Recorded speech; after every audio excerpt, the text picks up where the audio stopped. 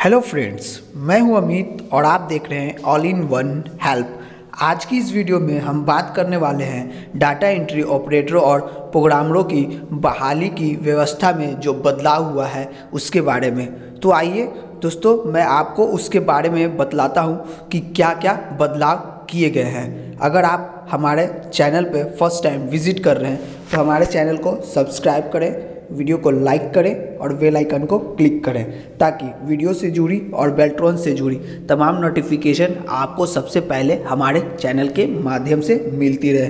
तो जैसा कि दोस्तों, आप सभी जानते हैं कि बेल्ट्रॉन डाटा एंट्री ऑपरेटरों और प्रोग्रामरों की जो बहाली है, उसकी व्यवस्था में चेंज किया गया है। तो आइए, बहुत से चेंज किए गए हैं। अब सरकारी कार्यालयों में बेल्ट्रॉन के ज़रिए बहाल होंगे।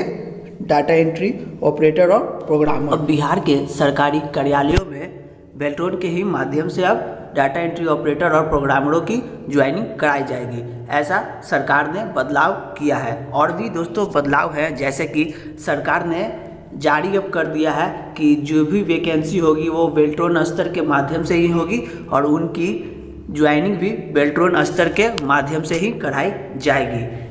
राज्य सरकार ने डाटा एंट्री ऑपरेटरों और प्रोग्रामरों की जो बहाली है, उसकी पूरी व्यवस्था ही बदल दी है। अब बेल्टोन के माध्यम से सीधे उनकी बहाली की जाएगी और किसी भी विभाग या ज़िले या स्तरीय किसी सरकारी कार्यालय में इनकी ज़रूरत पड़ने पर वह सीधे बेल्ट्रॉन से उसकी मांग करेंगे और रिक्वेस्ट भेजेंगे कि हमें यहाँ इतने पदों की ज़रूरत है। इसके संबंधित कार्यालय को मांग के मुताबिक जितने भी डाटा एंट्री ऑपरेटर और प्रोग्रामरों की आवश्यकता होगी, उसकी आपूर्ति अब बेल्ट्रॉन करेगा।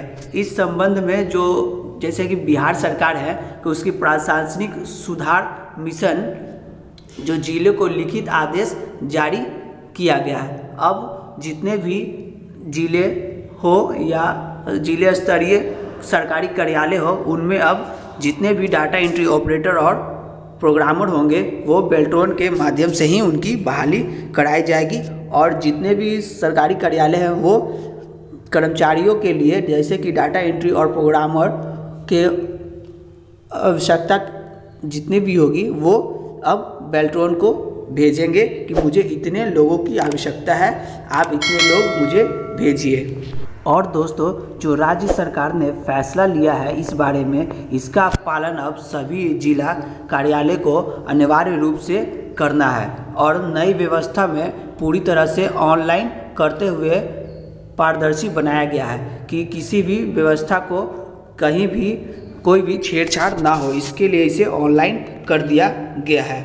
और इसके लिए ईआरपी e यानी कि दोस्तों इम्प्लाई रिसोर्स प्लानिंग नामक ऑनलाइन व्यवस्था तैयार की गई है, जिसमें संविदा पर बहाल होने वाले सभी डाटा एंट्री ऑपरेटर, प्रोग्रामर और अन्य कर्मियों को इसमें जोड़ा जाएगा। और सभी कार्यालयों में जो इनकी एंट्री कराई जाएगी, वो अब सूचीबद्ध तरीके से होगी, यानी कि पैनल वाइज कराई जाएगी और उनकी पैनल के द्वारा ही उनकी ज्वाइनिंग कराई जाएगी।